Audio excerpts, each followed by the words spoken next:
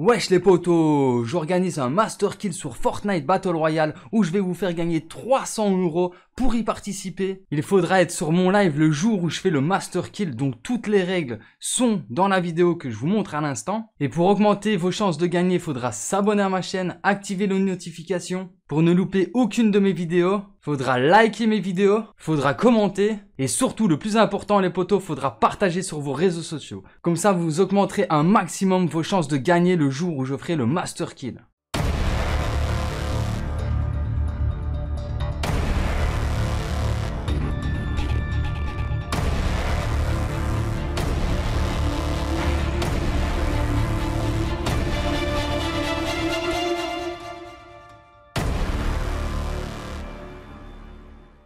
Wesh les potos, bonjour à tous et bienvenue sur ma chaîne YouTube, c'est Swakulo Mike et aujourd'hui je vais vous présenter une vidéo sur Call of Duty World War 2 sur le nouveau DLC, le trône sombre. Donc dans cette vidéo je vais vous présenter comment débloquer les trophées faciles pour l'instant et après on passera au plus compliqué après. Donc pour les trophées faciles, bah, c'est tout simple, je vais vous expliquer oralement ce qu'il faut faire.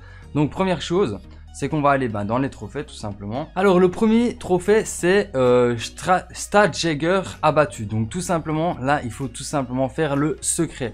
Donc euh, il y a des tutos pour faire le secret donc ça c'est à vous de réussir le secret.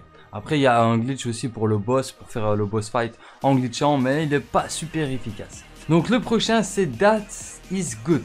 Donc il faut dans le trône sombre, trouvez l'Umberspregen. Donc l'Umberspregen, c'est le pack a punch. Donc tout simplement, si vous ne savez pas comment faire le pack a punch, je mettrai un tuto en description de cette vidéo. Donc le prochain, c'est sans discrimination. Donc dans le trône sombre, récupérez le Gracecraft sur chaque type de zombie au cours de la même partie.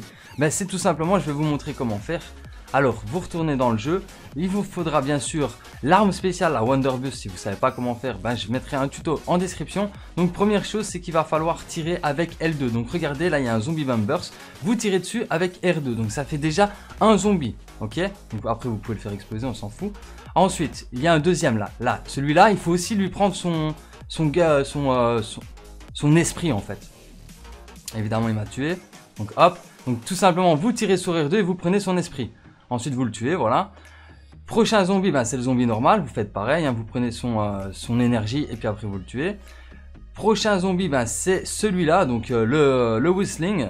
Vous tuez, euh, vous prenez l'énergie du whistling et puis après ben, vous le tuez si vous voulez. Et le dernier zombie, c'est un zombie mouche, donc j'en ai pas sous la main.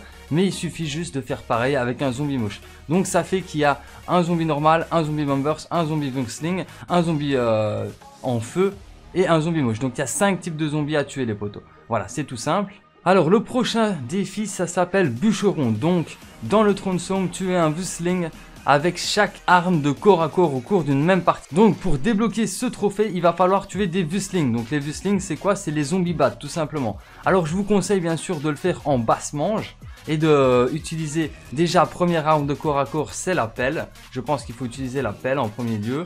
Puis après ensuite le piolet, donc ce que, ce que j'ai là. Ensuite la batte, donc le piolet il se trouve là dans le musée. Hein. Euh, la batte elle se trouve juste ici.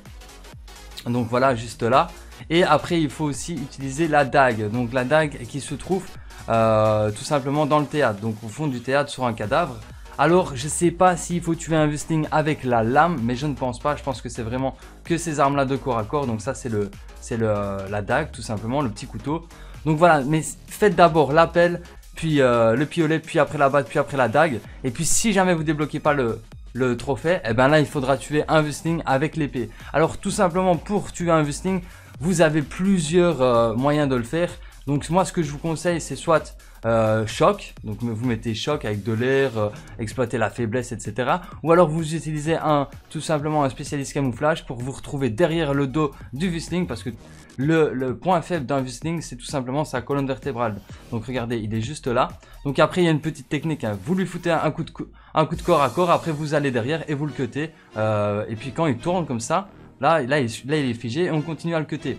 Donc ça c'est la meilleure façon de le tuer. Donc voilà pour ces trophées. Je pense que j'ai pas besoin de faire un tuto complet pour chaque, chacun de ces trophées là parce qu'ils sont assez simples. Je ferai un tuto complet pour les autres.